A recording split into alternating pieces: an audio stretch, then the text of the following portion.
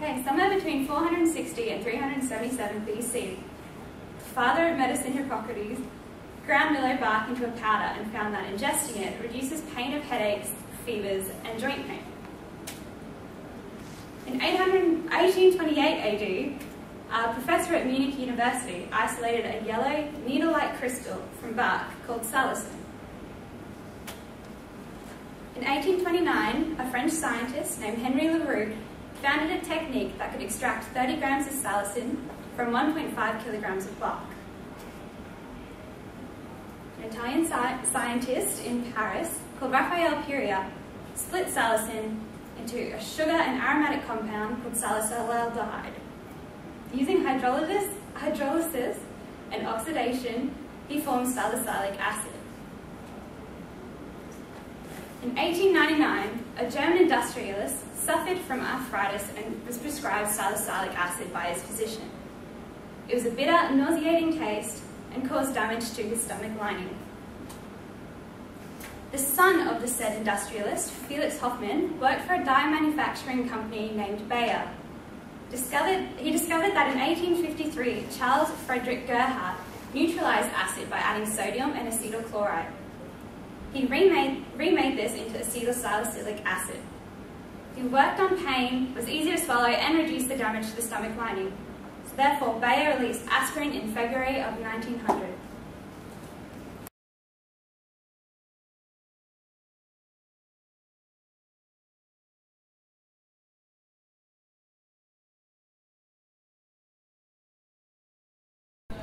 What's aspirin?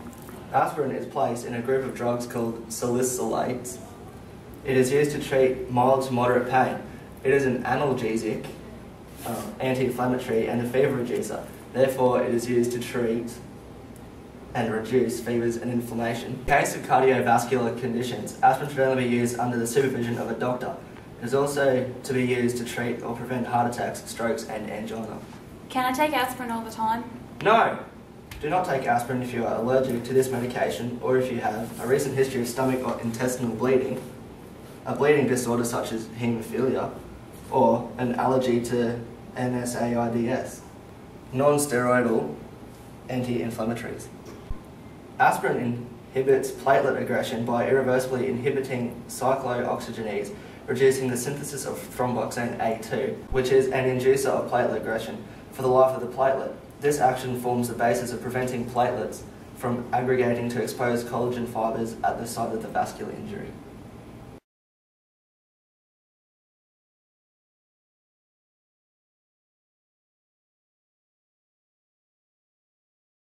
Oh, what do we have here? Two people, let's help them. Mine's complaining of chest pain on exertion and decreased exercise tolerance. She must be suffering from myocardial infarct, eh, ischemia. What about yours? Oh, well, mine. Oh, mine seems to have a few more symptoms: sudden chest pain, shortness of breath, nausea, palpitations, and sweating, and seem quite anxious. I'm going with acute myocardial infarction. How do you treat yours?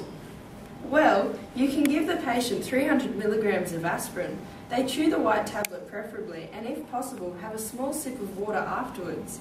Isn't that the same for acute myocardial infarction? I believe it is, but I believe there are some people we cannot give aspirin to. So you want to give someone aspirin, do you? Think you can give it to just anyone, do you? Well, don't think that. Example one, please walk in. You can't have aspirin because you're pregnant. Number two, you can't have aspirin because you're asthmatic.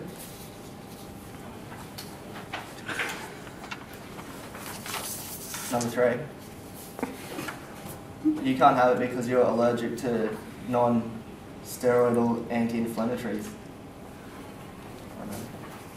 Number four and five, or four, you can't have it because you've got a peptic ulcer. Number five, you can't have it because you've got haemophilia. Number six, you can't have it because you're under 18 years old. And because you're yellow, you must have a liver problem, so you can't have aspirin either.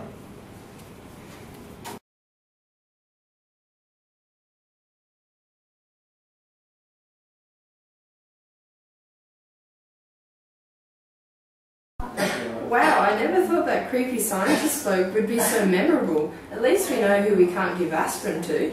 Yeah, according to their history, these guys will be fine with 300 milligrams of aspirin. We just have to keep an eye out for side effects. Sure, on the lookout for nausea, vomiting, pain, uh, gastritis, heartburn, GI bleeding, and NSAID induced bronchospasm. Let's get these patients to hospital. Sick.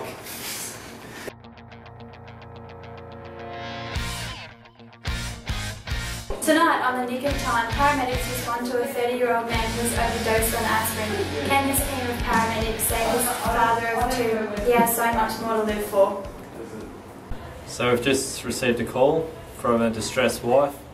Their 30-year-old husband has been found laying unconscious on the bedroom floor. We don't know much else at this time. She said he's been acting strange lately, a little bit out of sorts. There's a few drug canisters laying around, but we're not quite sure yet. We'll have to wait and see when we get there.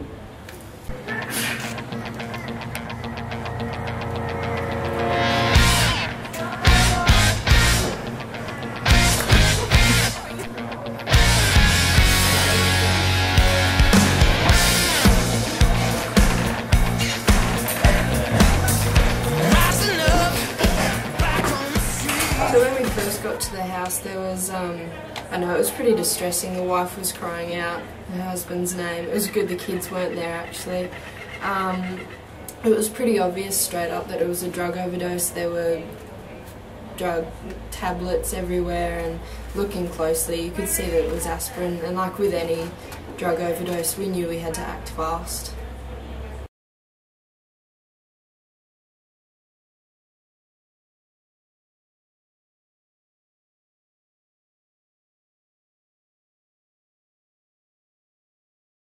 So does he have a, a history of overdosing on drugs? No, not that I know he, of. like unmost, have you noticed anything odd in the past that in the past couple of months that could lead up to this?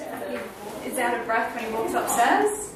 Other than that, no, nothing. Anything that he'd want to um, have commit suicide over? No. Is there any tension in your relationship? no. Okay. Um, so we've got to check his Glasgow coma scale, and at the moment he's sitting on an 8, so he's responding to pain, but he's incomprehensible for verbal response. Um, he with, withdraws from motor response. He's got some vomit in his airway um, and needs 100% oxygen through a, a bag valve mask at 10%, oh sorry, 100%, 10 litres. Um, OP Airways to make sure he doesn't choke on anything on his own tongue.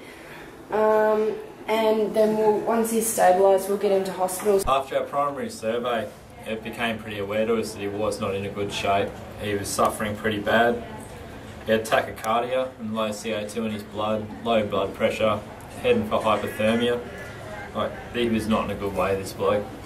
We didn't stabilise him and get him to hospital quickly. There's a chance he was going to suffer from a cardiac arrest due to abnormal build-up of fluid in the lungs. Um, we inserted an IV to replenish his body fluids and we administered active charcoal immediately, trying to soak up the salicylic acid in his stomach. He responded quite well, and we transported him stably to hospital. So there's two forms of aspirin overdose, acute and chronic. The overdose this man suffered from was acute, um, so which it's like one single large dose of aspirin greater than 150 milligrams per kilo of body mass, whereas a chronic overdose is 100 milligrams per kilo of body weight per, of aspirin per day for two or more days. Um, by stabilising him and getting to him to hospital so fast, we were able to ensure um, he could receive appropriate care and be with his family for a little while longer.